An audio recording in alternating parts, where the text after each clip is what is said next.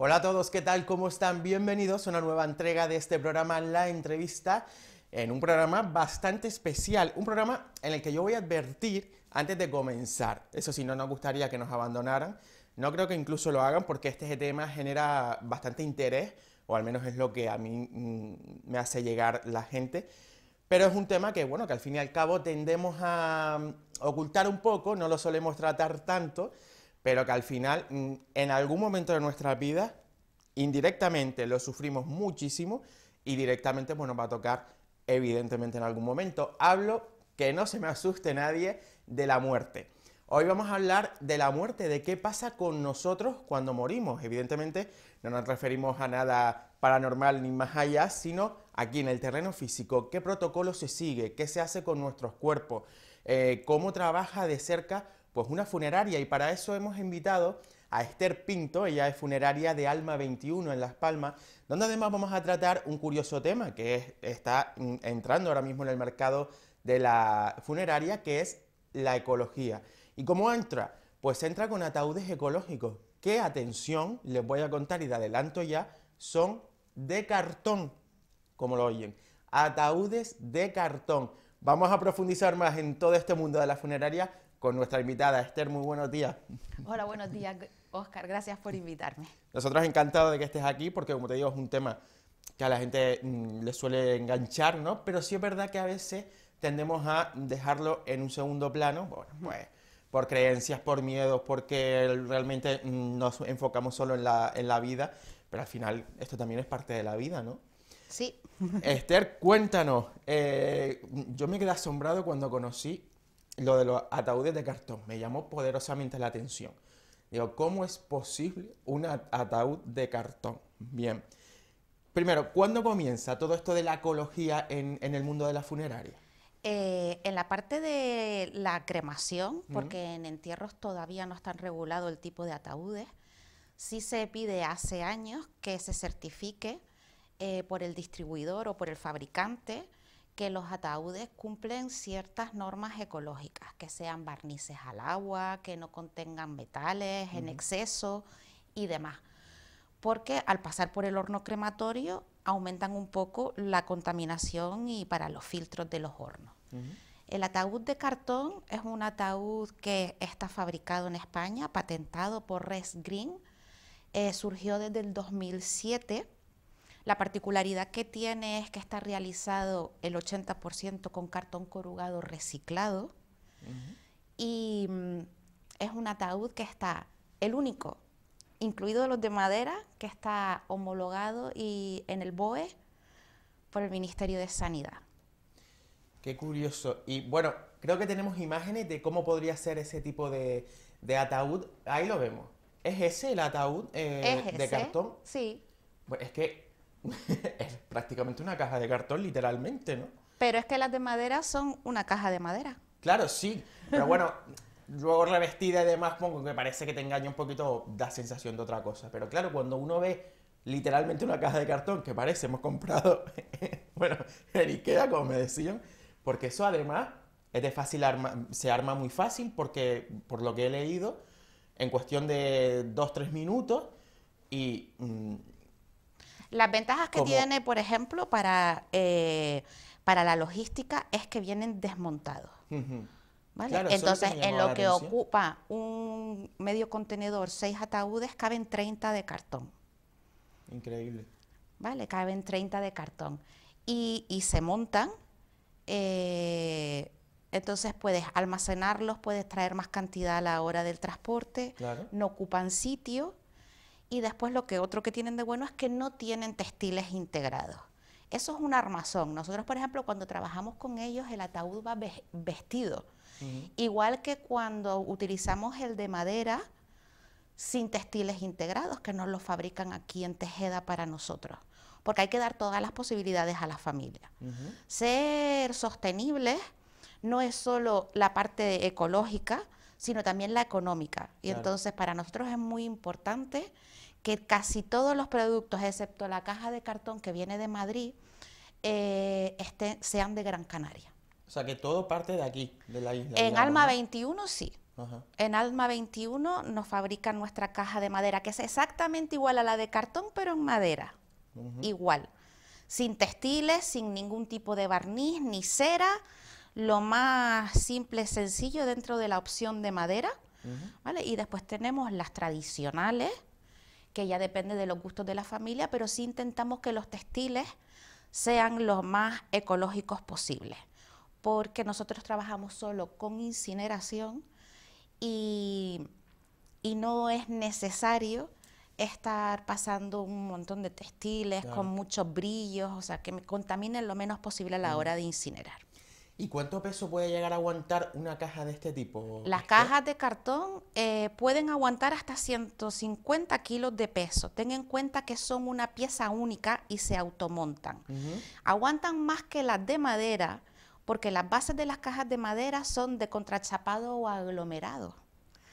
Pero por la normativa, todas tienen que soportar 120 kilos. ¿Vale? Pero la de cartón aguanta los 150. Y por ejemplo las cajas de cartón, porque por ejemplo en el caso de las cajas de madera, aquí en España, ¿no? Cada cinco años se puede reutilizar, por decirlo así, el nicho, es decir, se puede extraer el cuerpo de la persona y introducir el del nuevo fallecido.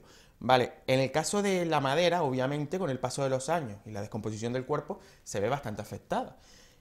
Claro, en el cartón, al cabo de ese tiempo, en el mismo periodo, los cinco años, cuando se vaya a sacar o a limpiar esa tumba, el cartón estará bastante, es decir, que el proceso sufre, porque si la madera lo sufre, que es más fuerte, imagínate. Lo ideal realmente que tendría que pasar es que se descompusiese por completo. ¿Qué es lo que tendría que pasar? Porque cuando hay una exhumación de un nicho de madera, de ataúd de madera, ese ataúd va a residuos. Sí, sí, además. Y está descompuesto y está estropeado y tiene cristales y tiene textiles y tiene metales que han estado esos años dentro del nicho. Los nichos suelen crear cierta hermeticidad. Al poner la lápida y, sellarlos, eh, impide que entre aire. Entonces, no tendría que sufrir un mayor deterioro que una de madera normal no tendría por qué sufrirlo. Exacto, el ataúd, el féretro, el ataúd ecológico de cartón está reconocido como un ataúd común, que significa que sirve tanto para entierro como para incineración. Sirve para las dos cosas. A la hora de pensar en el, en el futuro y en el más allá, mm, eh, eh, en, la, en la isla que le queremos dejar a los demás, pues es más lógico pensar, bueno, es un elemento que realmente se utiliza 24, 48 horas y después lo ideal es que el cuerpo se descomponga. Ese es el fin. Estamos programados para ser polvo, para volver a ser polvo. Exacto. Entonces, sí es cierto que las tradiciones y las costumbres pesan un poco más. Está mucho más eh, concienciada la gente a la hora de incinerar. En España tenemos que utilizar cajas sí o sí, vayamos a incinerarnos o vayamos a enterrarnos por la ley. ¿Vale? Entonces, a la hora de incinerarnos, sí la gente empieza a ser más consciente, ¿para qué voy a quemar? Claro, porque al final... Exacto. Porque cajas son de madera o de cartón, son cajas, igual. Sí, que el fin va a ser el completamente el mismo. Exacto. Pero, oye, y qué curioso eso de que en España en la cremación, ¿no? Que ahí se podría prescindir perfectamente de la caja, todavía sigue siendo obligatoria. ¿Por algún fin, cómo se justifica ese uso? Porque viene la, la, la, normativa estatal de, la Policía Sanitaria Mortuoria es del año 74. No existía todavía mucha eh, mm, imagen de cremación, todo mm, tiraba hacia el entierro. Exacto. Entonces, sigue así. Eh, aunque realmente, por ejemplo, nosotros primero nos basamos por nuestro reglamento de la comunidad autónoma, ¿vale? Pero eh, en la estatal viene también reconocido que es obligatorio el uso de féretro, ¿vale? Y tiene que seguir unas características específicas. ¿Vale? Tiene que garantizar que aguanta el peso, unos tamaños mínimos y máximos, aunque hoy en día lo de los máximos está siendo complicado. Hay personas, desgraciadamente, cada vez tenemos más obesidad mórbida y, y hay mucho problema para encontrar féretros. No tanto el féretro, porque sí los hay de medidas especiales, pero sí, por ejemplo, a la hora de entierro. No existen nichos para una persona, por ejemplo, que pese 250 o 300 kilos. Claro, es que es peso considerable. Exacto. Y al final los nichos pues son estructuras... Vienen prefabricados y se levantan por pisos, entonces no se puede romper para unir dos. Vale. Pues, oye, de las cositas que nos vamos entrando poco a poco y que uno no, sabe. Por cierto, eh, ¿qué precios rondan más o menos aproximadamente este tipo de, ataúdes? Los ataúdes eh, estándar tradicionales tienen un precio habitual dependiendo de las funerarias eh, a partir de 450, 500 euros. ¿Vale? eso dependiendo después de las funerarias, las aseguradoras y demás. Eh, y los ataúdes ecológicos tienen el mismo precio, tanto el del cartón, por ejemplo, yo trabajo con el de cartón o con el de madera que me fabrican a mí y tienen exactamente el mismo precio, porque lo ideal es que si tiene el mismo precio, ¿tú qué prefieres Hombre, evidentemente el ecológico, al final. ¿Tú qué prefieres usar? Son ecológicos los dos, ¿vale? Pero no es lo mismo, imagínate, un, un féretro que está fabricado a corte láser con material el 80% reciclado que no tiene casi ningún desperdicio y que eh, el CO2 equivalente de una tonelada de cartón, de, o sea, de una caja de cartón son 202 kilos 49 aproximadamente por los 10 kilos de peso que tiene, a fabricar uno de madera que tiene colas, aunque sean ecológicas, que tienen sus bases de aglomerado contrachapado, que tienes que utilizar agua, que tienes que utilizar electricidad. ¿sabes? Y que sí genera un poco más de residuos. No, y que comentabas que para generar un solo ataúd de madera se, tenían que talar, creo que eran dos árboles o tres. Es, lo que está estimado es que por cada ataúd se necesitan dos árboles. Eh, está, el estudio realmente está hecho en un ataúd que fuese de madera maciza, buena, real. Eh, eso no es cierto, no pasa porque eh, no podríamos desplazar esos ataúdes. Piensa en un mueble de madera bueno que tengas en casa, lo que pesa al moverlo. Vale, sí es cierto que dependiendo de la madera que se utilice y la de cantidad de madera que tenga, los ataúdes van subiendo de, peso. Mientras más pesa, más contamina también. Claro, evidentemente. Por ejemplo, son esos ataúdes que vemos, por ejemplo, o es la sensación que dan en las películas, que son ataúdes bastante... Es también eh, mucho la sensación que dan. Es mucho la sensación que dan, en plan el estilo americano, que vienen con sus barras por los lados, que se abren las puertas, sí. Es mucho la sensación que se da también. Y de todas maneras aquí se siguen normativas distintas. Muchos de esos ataúdes que vemos pueden ser hasta de metal, porque en otros países hay otras normativas distintas. Aquí existen, se pueden encontrar esos, esos tipos de ataúdes también, americanos que se les abren la puerta. De doble tapa. Exacto, exacto. Realmente opciones para elegir las tenemos todas. Lo que pasa es que sí es cierto que sobre todo en las islas, que Canarias está apostando mucho por ser sostenibles, por mantener nuestro entorno, por mitigar un poco este cambio climático que estamos teniendo de olas de calor muy grandes, de una sequía que está empezando a ser un poco, o cuando llueve el agua no termina de penetrar, sino que lo arrasa todo. Entonces nos pasamos la vida siendo, eh, reciclando, siendo conscientes, moviéndonos en transporte público, intentando mejorar las cosas, y a la hora de morir la fastidiamos. Cada uno de nosotros, si se entierra, generaría unos 1.300 kilos de CO2 solo por persona en un entierro. Hoy, hoy, por hoy la cremación es el método más ecológico, hoy por hoy, y mm, tres cremaciones equivalen a un entierro. O sea, lo que contamina un entierro es lo mismo que contaminan tres cremaciones. En nuestro caso, en el caso de Alma 21, que crecimos desde el inicio con los objetivos de desarrollo sostenibles integrados, nosotros realmente llegamos a tener una huella positiva, porque tenemos coche eléctrico, porque somos online y no hay una sede física real. Hay muchas funerarias que ya están, están promocionándose como la primera funeraria online. No es cierto porque tienes un sitio físico. Y si tú tienes un sitio físico, realmente estás pagando estás gastando un agua, una luz local, también, local exacto. Eh, las funerarias somos realmente de siempre todas online, porque es muy raro ver a alguien, que una familia que se acerque a la funeraria. Siempre nos desplazamos nosotros donde está la familia. Entonces es una manera de abaratar costos que repercute en el precio final que va a pagar la familia y también en lo que se genera de innecesario en el consumo de combustibles fósiles o de luz.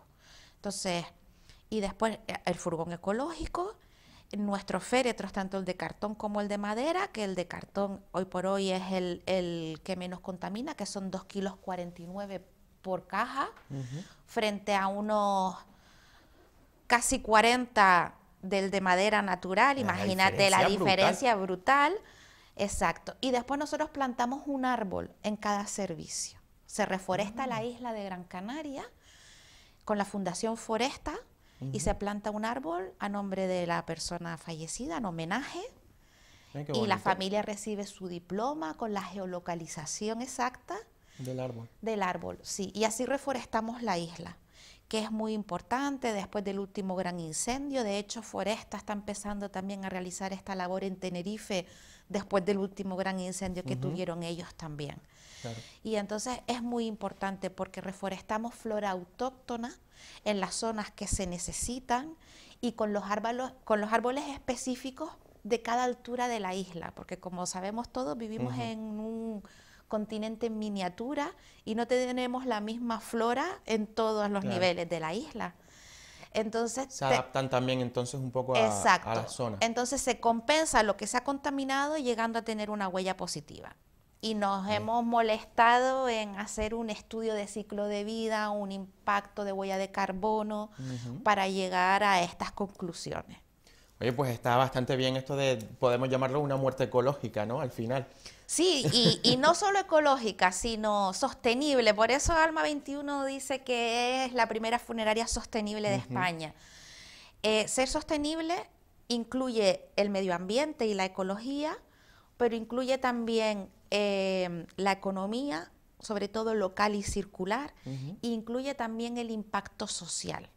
El impacto social intentamos reflejarlo teniendo unos precios justos y transparentes.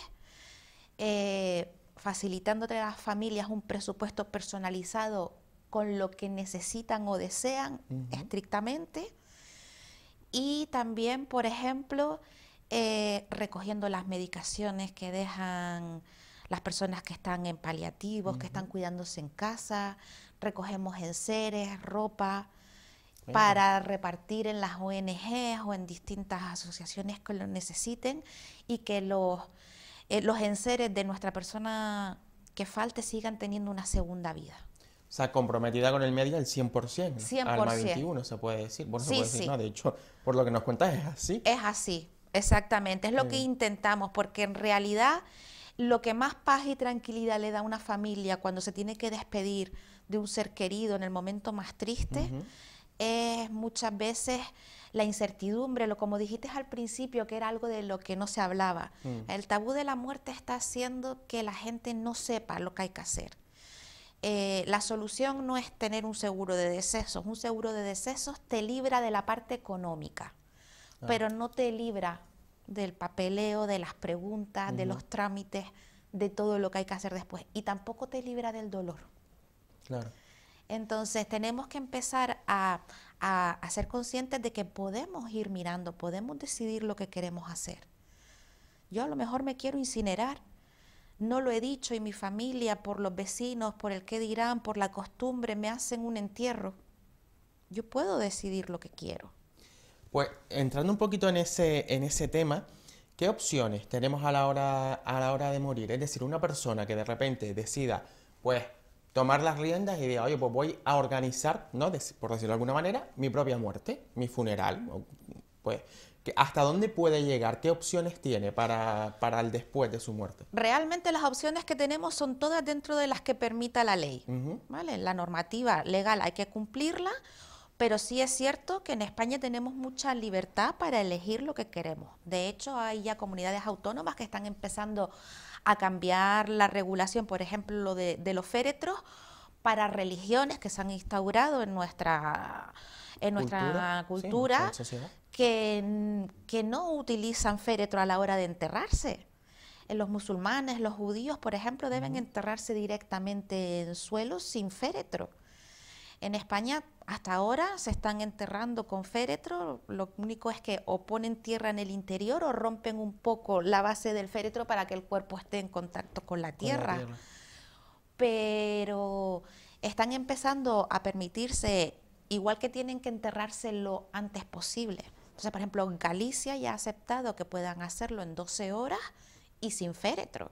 Tienen que justificar que pertenecen a esas religiones. Pero bueno, son pequeñitos pasos que se van dando. Pero sin ser eso, realmente podemos elegir todo. Legalmente tenemos la opción en Canarias, se llama manifestación anticipada de voluntades, que es lo que se conoce como el testamento vital. ¿Vale? Que realmente lo que refleja más bien es lo que queremos que pase en caso de que nosotros no podamos decidir por nuestra salud. Pues que no queremos que nos reanimen, que no nos queremos que nos mantengan eh, eh, conectados si estamos en situación vegetal. Pero también hay un pequeño apartado en el que podemos dejar por escrito que queremos que nos incineren, ¿vale? Que no queremos entierro, que no queremos, por ejemplo, velatorio, que queremos y podemos dejarlo hecho. Y en caso de querer planificarlo todo con detalle, eh, si se tiene seguro de deceso, se puede mm, poner uno en contacto con la compañía de seguros e indicar que lo quiere personalizar de esa manera y así ya lo hace directamente. Y si no tiene, pues se hace lo que es una planificación. Se planifica, yo quiero esto, me gustaría saber si se puede hacer esto, se hace un presupuesto y en el momento en que suceda, se realiza lo que la persona ya ha dejado firmado. Que puede ser entierro, cremación y luego ya pequeños detalles, pues. Exacto. Eh, pues que me cante, no que. Exacto. que no sé si eso se podría hacer, no sé hasta qué punto, pero yo he llegado a oír de personas que me parecía algo. o sea, cuando yo una vez lo, bueno, en broma, siempre lo, contaba, ¿no? Digo, pues oye, estaría bien, igual que invita a gente a una boda, pues a ver, mm, decidir quién puede, quién no, ir, por ejemplo, al tanatorio. Pero yo no sé hasta qué punto tú puedes elaborar, por ejemplo, una lista y decir, pues no quiero que a mi tanatorio asista, eh, o a mi duelo, a mi velatorio, sí. XXX y X personas. Eso se puede hacer, tú puedes vetar la entrada de alguien. Sí. Ah, bueno. Una sala de velatorio no es un sitio público. Es igual que estamos acostumbrados a llegar a un tanatorio y ver en las pantallas el nombre y la sala donde están. Sí, como Pero tú, puedes, un hotel. tú puedes prohibir que eso salga. Y solo las personas a las que tú hayas avisado saben a dónde está. O que la sala esté cerrada y solo esté la familia dentro porque no quieren recibir a nadie. Claro que se puede hacer. O sea que hay muchísimos detalles que podremos nosotros dejar escritos y que se llevan a cabo luego. Exacto. Por ejemplo, si una persona no lo hace en vida, desgraciadamente pasa, hay problemas familiares y a la hora de un velatorio hay problemas, ¿no? Y quien decide es el representante del, del familiar, el que, el que firma y el que autoriza todo para hacer el servicio. Entonces, él puede decidir, pues la caja no se abre si tú no lo has dejado establecido previamente o la sala no se abre o esta persona no entra. O... Vamos, que al final tiene total potestad para organizar tu muerte al final, ¿no? Exacto, por eso es importante que tomemos las riendas. Claro. Tomemos las riendas en el sentido, si yo tengo claro lo que quiero, yo, yo he vivido situaciones de, la persona mayor, no querer velatorio, no querer mm, mm, flores funerarias, querer una cremación directa sin más problemas y la familia no hacerlo, ¿por qué dirán los vecinos? No, eso tampoco. Entonces, al fin y al cabo la persona que se fue ya se marchó, ¿no? Pero sí tenemos nosotros la tradición de cumplir mucho las últimas voluntades. Entonces, hay maneras de dejarlo establecido, porque si no se va a hacer cargo tu familia. Otra de las preguntas también que surgen con, con todo esto es, porque hay muchas, sobre todo personas mayores, y de hecho yo tuve un caso cercano, que se decía, bueno, tienen la costumbre de eh, pues querer que se vele en su propio domicilio. Es decir, hay muchas personas, sobre todo mayores, que dicen yo quiero salir de mi casa. Vale, pues corre por ahí que ya Sanidad ha prohibido eso. ¿Eso es cierto? ¿O todavía pueden las personas decidir velarse en su casa? En su domicilio. Exacto. En su domicilio. O sea, la única alternativa es su propio domicilio. Exacto. No, si yo tengo una casa más grande y falta mi madre, yo no puedo hacerle su velatorio en mi casa, tiene que ser en su domicilio. Claro. Sí, sí se puede hacer todavía. Ah, pues fíjate, eso ya por... Se puede, se puede hacer todavía. En el domicilio de la persona fallecida se puede realizar el velatorio. Se ha dejado de hacer realmente por los tamaños. Antes normalmente la gente vivía en pueblitos. Se podía hacer en los domicilios porque sean casitas o se ponía en lo de la comunidad de vecinos. Sí es cierto, en lo que sí ha cambiado es en sitios públicos. Por ejemplo, Jerónimo Saavedra el otro día que estuvo en las casas consistoriales. ¿Vale? Para eso, que es lo que se llama montar una capilla ardiente, hay que pedir permiso y lo habitual es que tengan un proceso de conservación, porque van a estar en un sitio público donde no pueden estar a, eh, en una temperatura que, que pare los, lo- los fenómenos que nos hacen Sí, descomponernos. el, el- el Eh, orden natural de las cosas al Exacto, final, ¿no? y entonces lo habitual es que estén conservados o embalsamados en mayor o menor grado para poder estar en un sitio público. Que eso, mm, nos contabas también en España, el embalsamamiento es solo y exclusivamente bajo permiso y en casos exclusivos, ¿no? Los casos exclusivos son que si se pasa el tiempo que tiene la ley previsto para que tú te entierres o te cremes, tienes que estar conservado o embalsamado. Eh, esto, por ejemplo, estamos muy acostumbrados en ver las películas americanas que organizan todo 15 días después y el féretro Sí, está sí, allí. con lista de invitados Sí, y están todo. embalsamados, ellos los embalsaman porque para que la familia le dé tiempo a llegar, tardan más tiempo. En España nos limita un poco el tiempo que tenemos. ¿Vale? La ley nos obliga a máximo 72 horas. Máximo 72 horas tenemos que estar cremados o, o incinerados. Exacto. ¿Qué pasa? Pues que hay casos que los cuerpos tienen que ir al Instituto de Medicina Legal. Hay casos que, que son diferentes, ¿no? Entonces, lo, lo que pasa es que estos cuerpos están siempre en refrigeración. Están siempre a temperatura entre 4 y 6 grados y cuando ya a lo mejor es un autopsiado que no se conoce a la familia o que no se encuentra familia, se pasa a congelación. Mm, Vale. Entonces se incinera o se entierra directamente porque está congelado o refrigerado. Así que no puede volver a exponerse porque se acelera el proceso de descomposición. Exacto. Si si quisiese velar, habría que embalsamarlo. Embalsamarlo.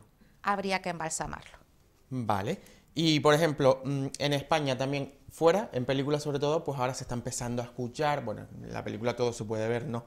Pero por ejemplo, lo que comentabas antes, se habla también, que yo no sé hasta qué punto eso está legislado en España, de que nos podemos convertir en árboles o en joyas, o eso hasta qué punto es real y hasta qué punto eso se puede aquí en, en España. A ver, eh, nosotros, por ejemplo, eh, plantamos un árbol homenaje porque es en una zona pública y la normativa prohíbe esparcir cenizas en zonas públicas, ¿vale?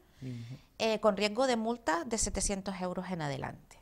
Pero si tú tienes un terreno privado, yo puedo plantar el árbol con las cenizas de tu ser querido. Hay urnas específicas. Las cenizas no son para nada ni contaminantes ni perjudiciales. Lo único es que tienen un pH un poquito superior a las raíces de un árbol que se va a plantar.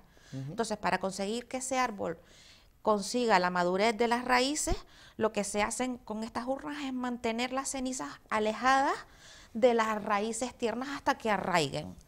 Pero realmente no sería ni necesario con mantener una separación entre las cenizas y la raíz del árbol es suficiente. Pero realmente las cenizas no intervienen en el proceso de crecimiento del árbol, sino que se Las, entierran cen- con las la semilla. cenizas son materia, son un abono maravilloso.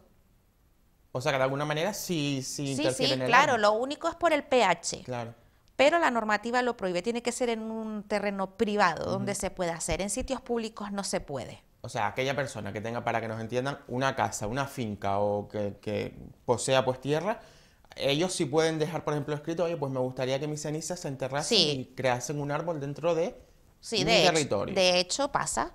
De hecho pasa. Ya se está haciendo, digamos, sí, aquí sí, en sí, Canarias. sí. Las personas que tienen su, su propiedad privada, sí. Nosotros hemos tenido servicios que han tenido su, su parcela en Teror o donde sea y se hace allí. Y por ejemplo, si yo no tengo el terreno, pero sí sé de alguien que lo tiene y, y acepta eso, podría hacerse. Si el terreno es privado, se puede hacer todo. Con quien sea, no necesariamente tiene que ser el dueño. No, no, no, no, no. Vale. Las cenizas en España tienen que estar en cementerio. En columbario en cementerio, en columbarios oficiales, que hay algunos tanatorios que tienen una parte de tener columbario o en el domicilio privado. Esos son los sitios donde permite la ley. Y en cuanto a las joyas, eso sí que es un poquito ya... Las joyas no, sí existe. Eh, una de las últimas tendencias es crear diamantes artificiales eh, generando con las cenizas un diamante artificial, creando la presión que, la naturaleza crea en, la tierra para que salgan. Y después están los relicarios de siempre que rellenas con ceniza. Y en Alma 21 lo que hemos hecho para diferenciarnos es que realizamos con resina ecológica por una artesana de Canarias eh, ese relicario para ti. Entonces se mezcla dentro de la resina esa ceniza y tú eliges qué tono, qué color y lo puedes usar tanto para tener guardado como para usarlo como joya. Y, son opciones que a la gente le gusta. De, de, todas maneras, esos son opciones. Sí, claro. ¿Vale? Hay personas que sí quieren tener siempre algo de su ser querido con ellos y hay personas que no les apetece tener ni siquiera las cenizas en casa. ¿Vale? Todo es respetable. Lo que pasa es que sí tendríamos que tener una mejor salida a el problema que tenemos con las urnas. Todos sabemos y todos conocemos a familiares que han ido a la playa y han dejado allí las cenizas y con el posible de que hayan tirado también la urna y no sea biodegradable. Entonces, ya que pasa y ya que es una realidad y ya que estamos aumentando muchísimo la cantidad de incineraciones, tiene que tener una mejor salida, cómo gestionar al final ese, esa, ceniza. En las funerarias, por ejemplo, cuando las familias renuncian a recoger las cenizas o no vienen a buscarlas porque no tienen, se gestionan como residuos, que realmente es lo que son. ¿Vale? Entonces, sería bueno poder darles una opción a las familias a tener un lugar, porque lo que sí realmente sí pasa es que en un entierro, aunque después ir a un cementerio sea muy triste, porque siempre hay un entierro nuevo, porque siempre te da la sensación del día que fuiste por primera vez, pero sí es cierto que no es un lugar a lo mejor muy agradable para llevar a niños que quieren ir a despedirse de sus padres, porque están viendo tristeza alrededor, porque hay mucha lápida negra, porque es todo como muy...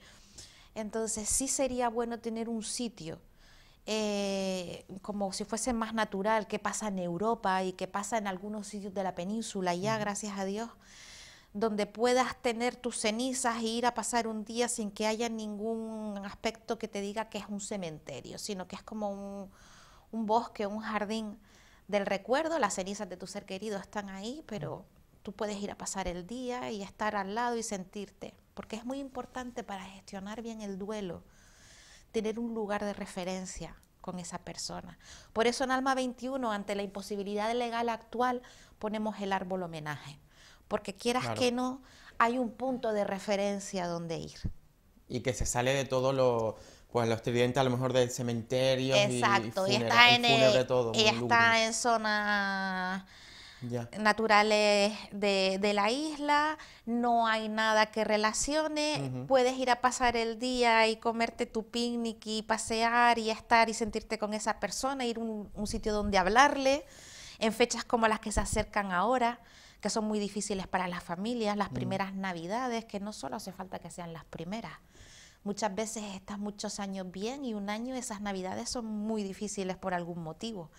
Entonces siempre hay fechas especiales en que las familias faltan y nosotros solemos empezar a publicar ahora en redes sociales, pues, qué hacer, ¿no? Para ayudar a, superar esas sillas vacías en Navidad. Que es algo muy importante, sobre todo, bueno, evidentemente emocionalmente hablando. Sí. Y algo que, por ejemplo, este tipo de alternativa de, de plantar un árbol y demás, pues al final emocionalmente, psicológicamente es bastante sano, ¿no? Porque es como una, de alguna manera una representación. Y aparte es la única manera de conseguir que la vida de los seres humanos sea circular. Claro. Porque mm, reciclamos mucho, ahora todo está pensado con ecodiseño para que las cosas tengan dos, tres, cuatro, cinco vidas, y nosotros somos así, totalmente lineales. Al morir somos un residuo que no se gestiona y no se gestiona de ninguna manera. Y por ejemplo, en el caso que hablabas de, las personas que al final, si las cenizas no se reclaman, acaban pues siendo, tratadas como residuos, eh, ¿existe, por ejemplo, ¿existe algún plazo que limite el tanatorio que diga, bueno, si no la Lo habitual es un mes. un mes? Si Sí. al mes no se reclama, Exacto. Eh, en, lo- en los contratos de, de los servicios funerarios, como en todos los contratos, están los genéricos y los específicos. Eh, lo habitual es que vengan, que se guardan durante un mes y si la familia no viene al mes, pues la funeraria podrá gestionarlo como desee. Y después también está la posibilidad de que la familia te diga, guárdamelas en depósito cierto tiempo, ¿vale? Nosotros por lo menos sí damos esas opciones, porque sí es cierto que hay veces que la muerte es inesperada, uno no se encuentra bien y ahora mismo no me gustaría, y entonces se guardan en depósito por el tiempo que la familia tenga estipulado hasta que la familia diga. Bueno, vamos ahora a tratar un tema que quizás es un poquito más escamoso, un poquito más incómodo para las personas, pero que vamos a intentar darle normalidad porque al final hay que darle normalidad y porque vuelvo y repito que pasaremos por ahí, Todo. queramos o no. Todo. Tenemos que pasar por ahí, queramos o no. Sí. Que es la tanatopraxia, que es cómo se trata el cuerpo al difunto, pues después de su muerte, pues para ser expuesto o para, para enterrarse, incinerarse, en fin.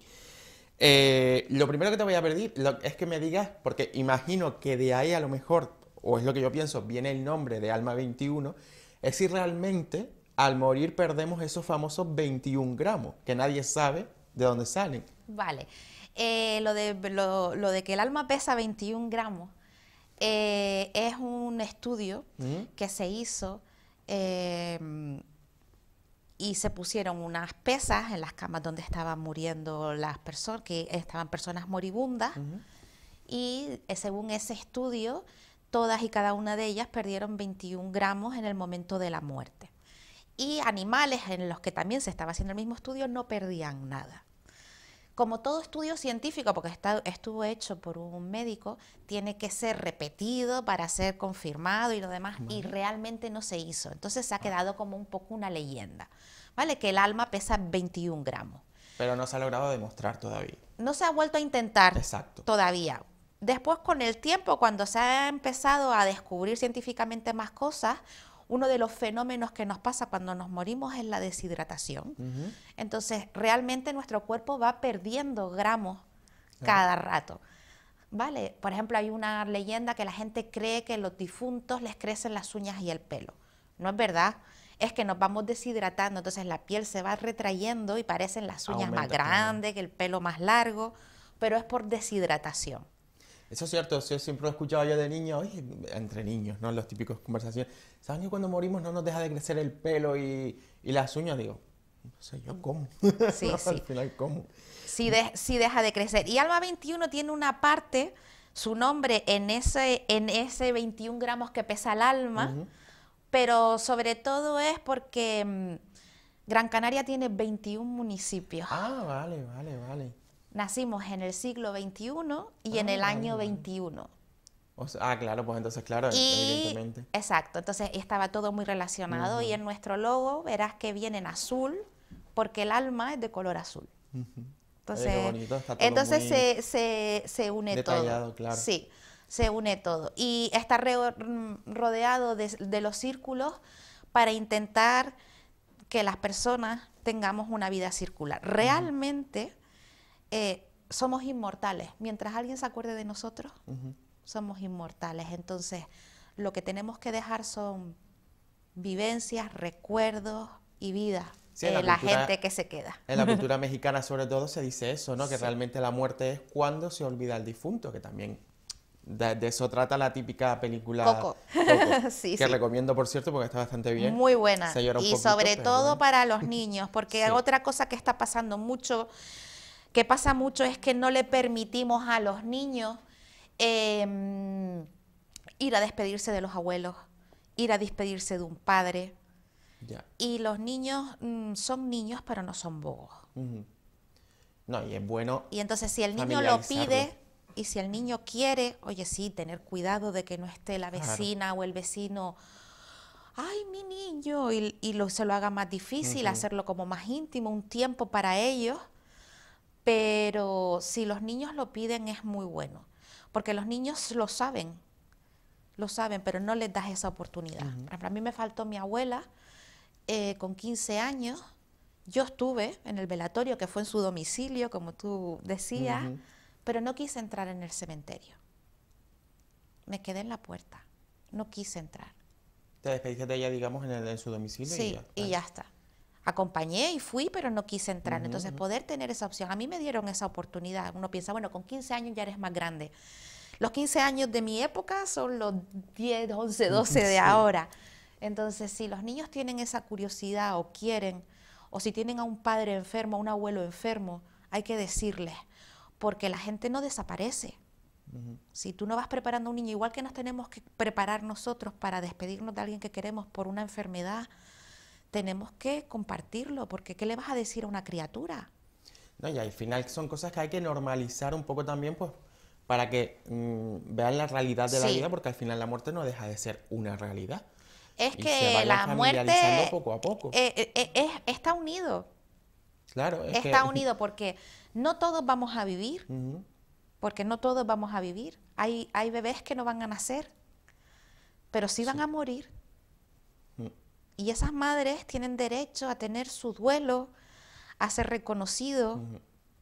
Sí, es verdad. Nosotros, por ejemplo, una de las cosas que hacemos para poder integrar a los niños, y está gustando mucho, en los féretros, tanto en el de cartón como en el de madera sin tratar, es que llevamos tizas. Tizas. Tizas de colores y la gente se despide y ah, escribe y dibuja.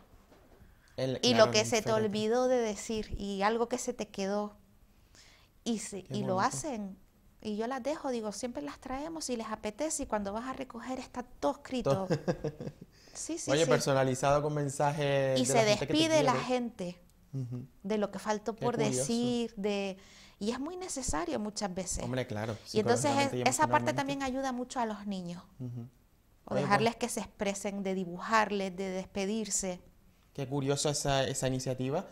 Mm, y pues, oye, ánimo, ánimo a que eso se siga, se siga haciendo porque, insisto, aparte de familiarizar a los más pequeños con algo tan real como la muerte, pues el hecho de expresar sus sentimientos y sanarse por dentro, porque al final esas cosas a lo mejor que no se hacen en ese momento, las terminas arrastrando toda tu vida. Toda la vida. normalmente. De adulto paga las consecuencias. Normalmente eh, la vida nos va preparando para perder a nuestros seres queridos cuando nos deja un novio, una novia, un novio, cuando nos echan de nuestro primer trabajo. Todo eso son pequeños duelos que nos van preparando a la hora de tener que decirle adiós a un padre, a un. Claro entonces, eh, eh, eh, la tendencia actual es mantener a los niños alejados de todo lo malo. Los niños son, se han vuelto de cristal, los tenemos separados, ¿no? Y la vida, todos cuando crecemos lo sabemos, es dura. Te mm. va, a llegar y va a decir, aquí estoy. Entonces... Hay que estar preparados. Hay que estar preparados con todo el amor, todo el respeto y todo el cariño del mundo, pero... Enseñarles a afrontar esos Exacto, porque después está también la pena de los niños con enfermedades. Pues cuántos de esos niños no ven a sus amigos porque sus padres no quieren que sepan que, existe el cáncer en niños. ¿Sabes? Entonces la sociedad se ha vuelto un poco...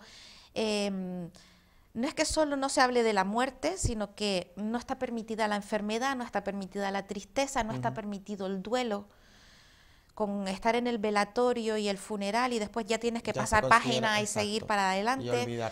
Cuando el duelo realmente empieza después de todo ese tiempo. Nosotros siempre trabajamos con familias en estado de shock. El duelo empieza después. Yo no considero que el, estado de shock sea la primera fase del duelo.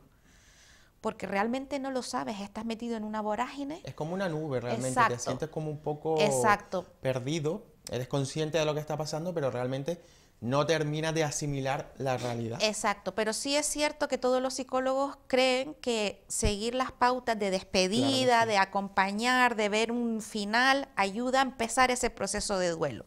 Y es lo que le estamos quitando a los niños. Porque claro, si a ti no te explican, pues siempre vas a pensar que me la voy a encontrar caminando por la calle a mi abuela o en el parque donde íbamos siempre. Entonces, ayudarlos un poco dentro de lo que demanden y de lo que entiendan. Adaptarse un poco a cada niño y sus necesidades y condiciones, y claro. Sí, pero después los, padres deciden y todo es respetable. Eso por supuestísimo. Bueno, y cuando morimos, ¿qué protocolo se activa? ¿Qué, ¿Qué, sucede en ese momento? Bueno, evidentemente supongo, dependerá del tipo de muerte que hayamos tenido, pero en un proceso normal, una persona que fallezca sin más, que no requiera ningún tratamiento especial, ¿cuál es el protocolo que se activa y qué comienza a pasar hasta que llegamos a, nuestra cremación o entierro? Lo habitual cuando una persona fallece es que un médico eh, expida el certificado médico de defunción. Hasta que el certificado médico de defunción no está firmado por un médico, no se puede tocar ese cuerpo. Ni en hospital, ni en residencia, ni en domicilio, ni en ningún sitio. El certificado médico de defunción es el primer papel que necesitamos para poder tocar ese cuerpo. Eh, llega al servicio funerario, ya está el certificado médico de defunción, vemos las causas de la muerte y normalmente no solo viene la causa de la muerte, sino a lo mejor enfermedades previas. Tenemos que tenerlo muy en cuenta por, eh, por ejemplo, en la época del COVID, porque tenga alguna enfermedad infecciosa, para saber cómo tenemos que trabajar con el cuerpo y la protección que tenemos que darle a las familias ante ese velatorio, ¿vale? Pero en un caso normal de una persona mayor que se nos muere, certificado médico de defunción, en el hospital, por ejemplo, se va, se recoge, Em, se, y se lleva a la sala, al velatorio, donde la familia haya elegido. Una vez llegados al edificio del velatorio, se prepara el cuerpo. La legislación obliga que mínimo sea un acondicionamiento higiénico-sanitario. Significa higienizar y lavar todos los orificios y oquedades, taponar fosas nasales y gargantas, sutura de boca y después nosotros trabajamos con un maquillaje natural básico que haga parecer que la persona está durmiendo. A partir de ahí la familia te puede pedir, pues no, ella era muy coqueta y quiero que le ponga su pintalabios, sus uñas, que la vista, después ahí dependiendo de lo que te pida la familia. ¿Vale? Se enferetra y se presenta en sala se hace que la familia pase para que te dé el visto bueno de que le gusta el aspecto que tiene y una vez que esté ese visto bueno dado, se abre lo que todos conocemos de la cortina. Exacto. Y esa sala se coloca entre 4 y 6 grados hasta que el féretro salga de ahí a su destino final. Y por ejemplo, ¿cómo se viste un cuerpo? Porque claro, existe la, la rigidez que comienza a cobrar el cuerpo después de la muerte, eso dificulta muchísimo a la hora de vestir un difunto, ¿no? ¿Cómo se las ingenian para eso? La rigidez empieza a, eh, instaurarse eh, después de las seis horas, ¿vale? Pero sí la podemos romper. Y se rompe haciendo rotación de las articulaciones, flexionando y extendiendo los miembros, ¿vale? Entonces es lo que hacemos y lo vestimos como una persona normal. Lo único es que los pies, por ejemplo, si es pantalón, sí tienen que ser los dos pies a la vez pero esa leyenda que hay de que la ropa está cortada por detrás no suele ser lo habitual.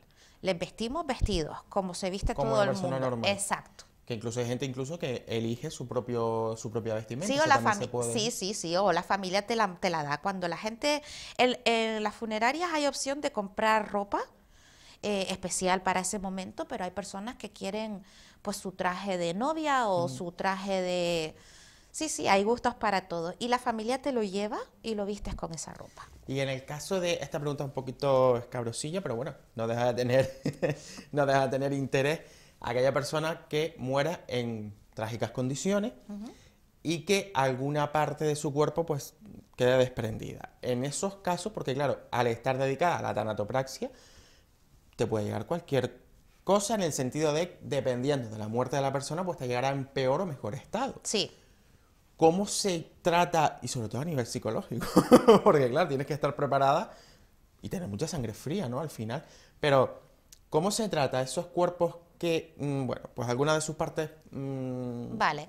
En este caso, nosotros lo que hacemos es tratarlos eh, como, como, si fuese una amputación. Se realiza una sutura en la parte del cuerpo que, que sigue unida al cuerpo para evitar la pérdida de fluidos suturas especiales para los muñones, Parker Care es la más habitual, y eh, igual en el miembro que quede, y se pone dentro del sudario de la persona. ¿Vale? Se aplican productos secantes o se vendan para evitar malos olores y pérdidas de fluidos, si no va a haber embalsamamiento y es una, una vela normal. En caso de que sea un traumatismo muy severo o una descomposición muy profunda, lo habitual es las familias son conscientes y es a caja cerrada. Porque la familia es consciente. No... tanto precintada, porque va dentro de su sudario, pero sí a caja cerrada, no que se pueda ver el, cuerpo. Pero todo eso dependiendo del estado. Porque normalmente para realizar técnicas de restauración y reconstrucción, que es lo que se haría en estos casos, tiene que estar embalsamado primero. ¿vale? Y no todas las familias eh, van a solicitar un embalsamamiento eh, o pueden permitírselo o Sanidad va a admitirlo.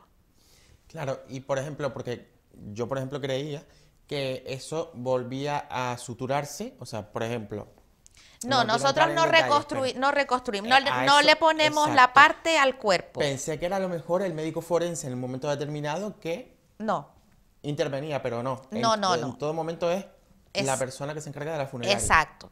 El médico forense simplemente, si es un autopsiado, de hecho, cuando nosotros recibimos un autopsiado, quitamos las suturas del Instituto de Medicina Legal porque esas suturas no son impermeables y con esas suturas no se puede tener un cuerpo expuesto porque puede perder fluido.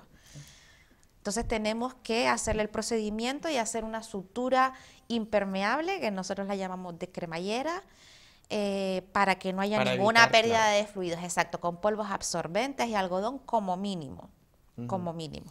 Y luego ya hay casos extremos, normalmente que viene por orden de un juez, que la caja está precintada, pero esos son casos pues imagino de enfermedades infecciosas. Más que por un juez, sanidad obliga en determinados casos, como vimos todos cuando el COVID, que al principio del COVID no se podía velar, que caja cerrada, de hecho teníamos que ponerle hasta precintada por fuera con cinta americana, iban en un sudario especial.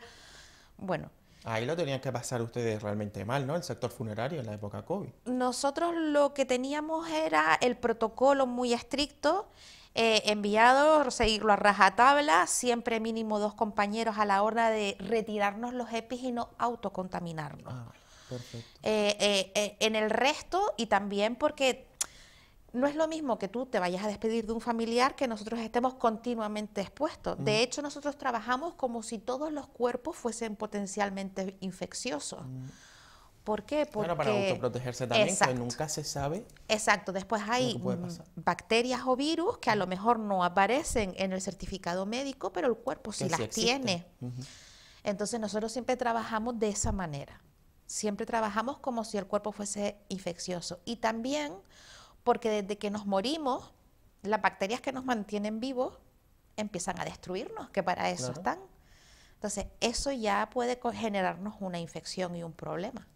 Entonces, siempre trabajamos como si fuese un infeccioso, siempre con nuestros equipos de protección individual. Exacto, a eso iba. Ustedes se uniforman específicamente para tratar un cadáver, ¿no?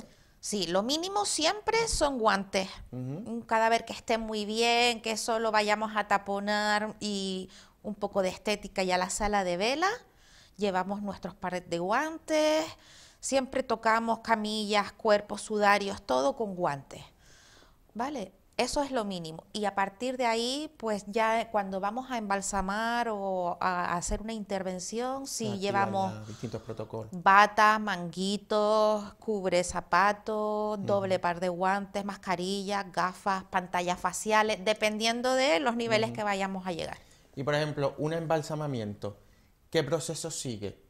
El, embalsamamiento lo habitual es que uno recibe el certificado médico de función o la carta del Instituto de Medicina Legal, porque tenemos que saber la causa de la muerte, la fecha en la que murió, qué lesiones nos vamos a encontrar, a dónde va a ir ese cuerpo. No es lo mismo que el cuerpo vaya a ir a Tenerife que que vaya a ir a Alemania y no vaya a llegar al entierro hasta dentro de 15 días a que se vaya a enterrar pasado mañana. Entonces todo eso influye en el proceso que tenemos que hacer. ¿Qué tipo de enfermedades tenía también? Por ejemplo, si tenía ictericia, que el color de la piel es característico, usaremos un producto u otro. Eh, y después, por ejemplo, si presenta descomposición, menos cantidad de agua y más cantidad de producto. Entonces, dependiendo de la causa de la muerte, de las lesiones y de las enfermedades, valoramos los productos a utilizar y mediante una fórmula conseguimos la concentración que nosotros queremos lo habitual es que vaya una concentración de formol entre 0,5 y 1,8 lo máximo. Si tuviésemos que reutilizar más de un 1,8, que es para un caso de un enfisematoso o un descompuesto, ya tendríamos que irnos a conservación en polvo, ya no podríamos abordar el cuerpo por dentro, que es los casos que hablábamos antes que sean muy específicos. Y este tipo de profesión, eh, claro, porque estamos hablando al final de tratar un cuerpo, te expones muchísimo a determinadas virus, infecciones, en fin. La especialización que tiene, ¿eso cómo está legislado? Porque hablábamos de que tenías que ser sanitario mínimo o, algún... La tanatopraxia, por ejemplo, aquí en Canarias está reconocida en el reglamento de policía sanitaria mortuoria y hoy por hoy es un certificado de profesionalidad de nivel 3. ¿Vale? Tiene una parte de teoría y tiene una parte obligatoria de prácticas y tienen que estar las dos superadas para obtener el certificado de profesionalidad. Perfecto. ¿Vale? Y es un certificado de profesionalidad nivel 3. No está reconocida en todas las comunidades autónomas porque la ley del 74, que es una ley muy antigua, lo que reconoce es la figura del médico forense, que realmente embalsamar, casi siempre han embalsamado las funerarias, que aprenden de toda la vida, y el médico forense pues revisaba y firmaba. ¿Vale? Hoy por hoy, si uno estudia de formación profesional de grado superior, anatomía patológica, puedes realizar las funciones de tanatopractor, pero nadie te ha enseñado a embalsamar. Claro. Entonces es muy curioso en ese sentido, pero nosotros trabajamos con productos químicos eh, muy peligrosos. El formaldehído es un gas que es muy cancerígeno, que hay que tener una, cuidados, hay que saber formularlo, hay que saber trabajar con él. Entonces, es una profesión que hay que aprender y después que hay que seguir aprendiendo siempre. Seguir aprendiendo siempre es muy importante. Por eso me llamaba la atención, ¿no? Porque cuando hablabas de fórmulas, de que dependía del tipo de la muerte, de saber si al final lo tienes que tratar con polvos o con químicos, ese tipo de cosas al final requieren una enseñanza. Sí, nosotros tenemos un módulo formativo completo que, que la mayor parte es anatomía. Porque tenemos que acceder a las arterias para poder introducir el líquido conservante, porque tenemos que poder aspirar los gases de todos los órganos del cuerpo, porque si es un autopsiado tenemos que vaciar toda la cavidad y tratar de una manera diferente. Y somos sanitarios, es de la rama sanitaria, somos los últimos médicos. que, claro, en el embalsamamiento también se extraen todos los líquidos del cuerpo y gases, ¿no? Sí. Primero se introduce todo el, producto eh, inyectante químico y después siempre se hace una aspiración a través de, del abdomen eh, de los líquidos y los gases. Y se inyecta otro líquido distinto para conservar. y después suturamos. Con sutura impermeable y después su sutura. Después, dependiendo, si viene un autopsiado, tiene un tratamiento distinto. Si es una persona, por ejemplo, que es una necropsia, que es una, una autopsia clínica, a lo mejor porque el médico quiere saber que estaba en un tratamiento experimental, quiere ver el órgano, la familia lo autoriza, pues te viene con una incisión que también tenemos que volver hermética. Entonces tenemos que conocer todo eso para poder trabajar. Sí, es un poquito laborioso la profesión. Sí, en sí sí. En sí sí. Bueno, y ya vamos a centrarnos para terminar en preguntas un poquito curiosas. Eh, te quería preguntar, por ejemplo, en el caso del embalsamamiento, ahí no hay duda. Pero, sin embargo, eh, oye, por cierto, antes de que se me olvide, ¿los órganos se extraen en el proceso de, de Dependiendo.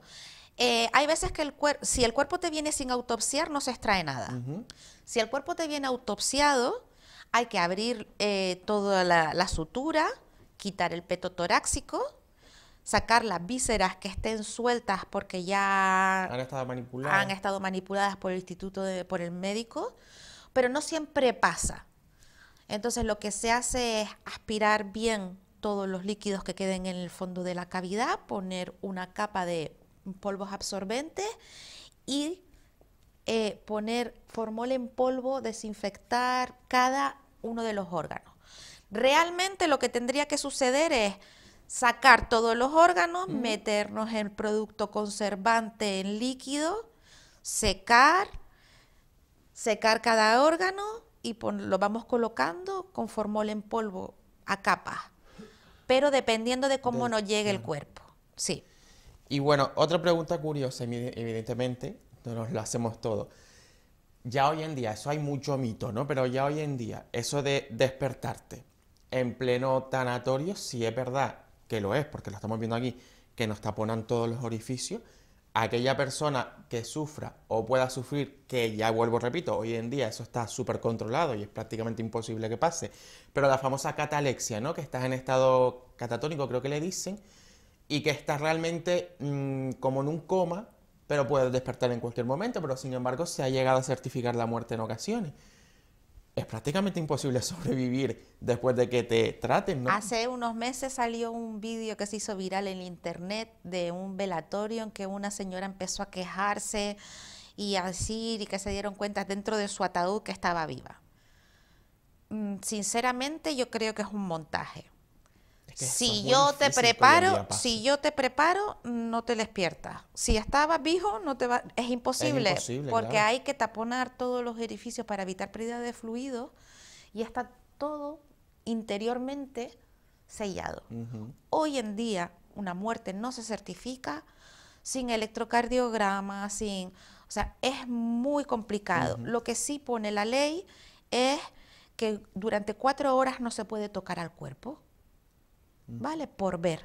Pero hoy en día es muy complicado. Un caso que sí pasó, no recuerdo si fue aquí en España, pero no estaba taponado, estaba en una cámara de frío y sí hizo un ruido, pero de hecho esa persona murió a las pocas horas siguientes.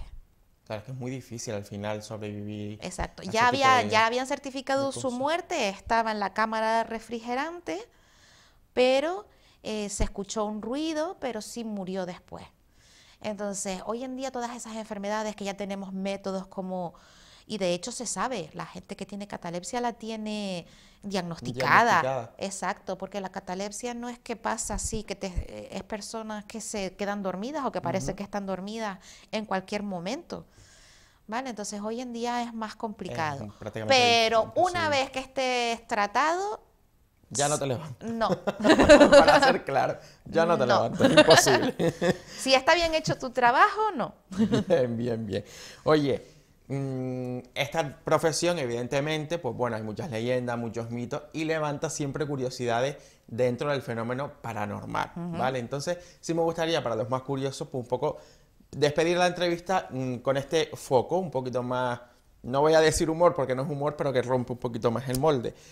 En tu caso no sé si crees en lo paranormal, no lo sé, eso ya es personal, pero lo que te quiero decir, ¿te ha pasado como tanatopractora? Imagino que sí. Eh, ¿Algún caso de estos típicos donde pues veas algo que no es muy común o, bueno, sustos evidentemente te habrán dado los cuerpos, pero por un proceso natural. Pero algo más allá, algo que esto que se escucha de, pues bueno, a mejor figuras, sombras o o revivirte a alguien en ese momento del, del, del preparativo? A mí, en, cuanto a lo paranormal, yo mm, no ni creo ni dejo de creer. Yo me imagino que cuando eso, si, si te pasa, es real, entonces eso es respetable y queda libre y, no, y no lo sabemos. Mm, me han pasado, como creo que nos han pasado a todos, circunstancias curiosas a lo largo de la vida, antes del trabajo que realizo. O ah, sea, sí, de, de, soñar cuando mi abuelo falleció y soñar que me llamaba por teléfono y me contaba cosas que pasaron después. O sea, lo típico que uno dice, pues bueno, puede estar ahí o no, no puede decir que no. Puede ser que sí, puede ser que no. Al final eso queda libre. Pero trabajando a mí no me ha pasado. Sí, sí he oído eh, dentro de, los tanatorios, las personas de la limpieza, las personas sí te cuentan, ¿no? De ver bajar una chica las escaleras y mirar para decirle hola y no estar, y después era la que estaba en, la sala de vela en el féretro. Si ellas lo cuentan, lo habrán visto. lo habrán me Imagino. Entonces, en eso respetar, pero no. La verdad es que yo no, no me ha pasado. Lo que sí me ha pasado es que mm, cuando nos morimos, los procesos que empiezan a descomponernos nos hacen tener reacciones en el organismo, sobre todo la rigidez muscular o algunos espasmos. Y em, preparando, de hecho, un, fallecido, la familia nos trajo la ropa para vestirlo y vistiéndolo. Estaba yo sola vistiéndolo en la sala.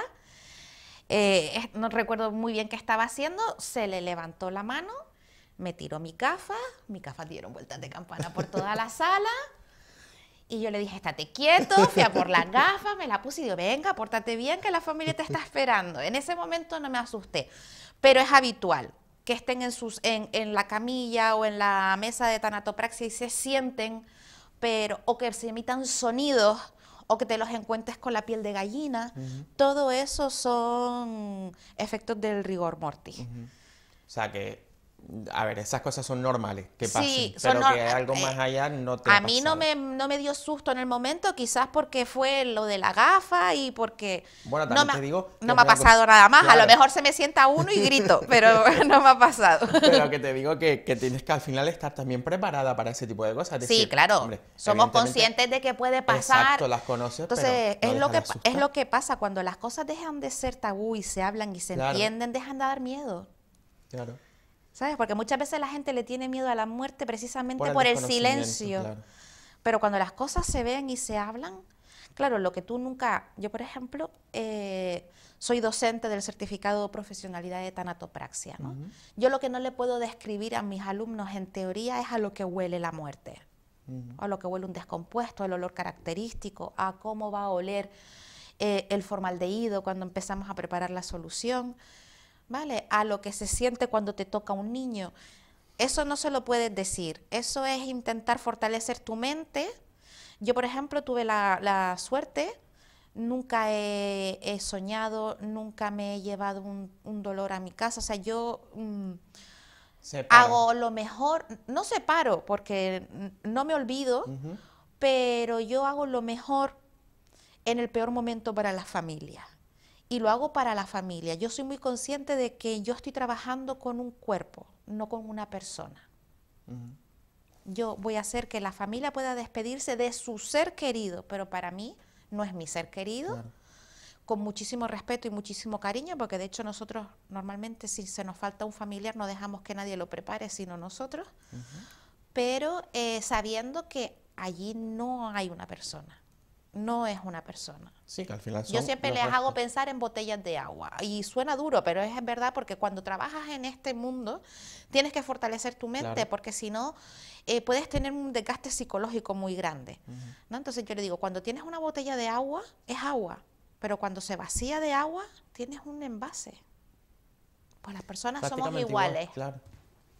Bueno, pues eso viene, pues un ejemplo muy, muy bueno, que la verdad que yo no lo había visto así, pero al final queda pues eso, nuestro envase, nuestro, nuestro, sí, nuestro envase, ¿no? Es Sí. literal, nuestra carcasa, ¿no? Por Sí. decirlo así. Pues bueno, Esther, mm, qué decirte que muchísimas gracias por venir a, A a nuestro programa, por ampliar estos conocimientos, ayudarnos a, pues al final, un poco el objetivo que es mm, darle naturalidad a la muerte, porque al final nacemos para morir en algún momento, y sobre todo ampliar esos conocimientos de qué podemos hacer y qué nos va a pasar, que como bien dices ahora, es muy importante pues para perder el miedo y ese respeto, ese tabú a cosas que al final acaban siendo naturales porque forman parte de nuestra vida. Respeto hay que tenerlo siempre. Eh, nosotros, todos los profesionales que nos dedicamos eh, a, a este sector, tenemos un respeto increíble por el cuerpo con el que trabajamos y por las familias a las que atendemos. La verdad es que sí. Y compañerismo entre nosotros. El respeto siempre. Pero sí es cierto que la sociedad tiene que empezar, sobre todo para no crear después mucho duelo complicado. Cada vez se dan más duelos complicados porque a lo mejor tenemos a nuestros familiares en residencias y no hemos ido a verlos todos los que queríamos. Entonces, ser conscientes de que es que mm, va a faltar.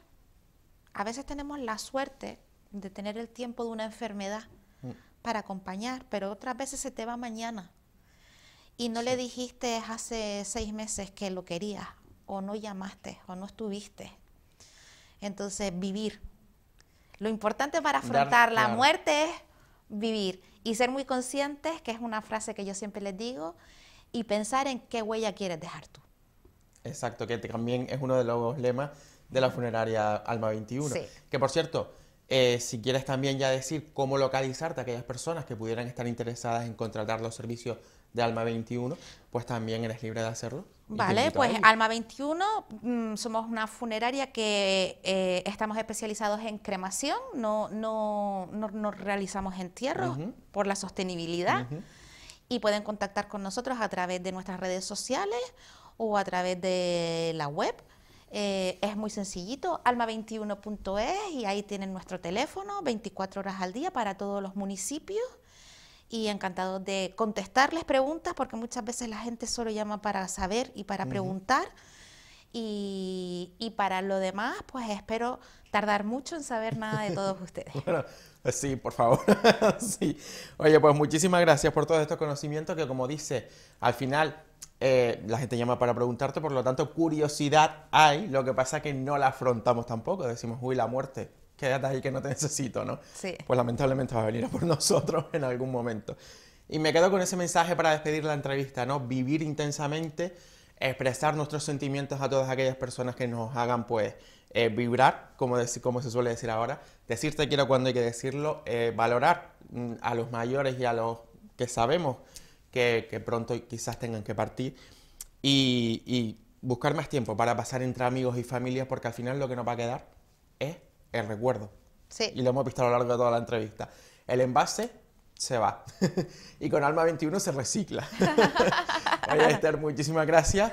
Y estamos encantados de recibirte aquí y que tengas mucha suerte. Y lo dicho, espero que si algún día mm, tenemos que vernos, bueno, me tienes que ver en otras circunstancias, que sea. Seguro que no. Conocer, sea muchísimo. Conocer y tratar con funerarios alarga esas cosas. Bueno, me, voy a apuntar eso, me voy a apuntar eso.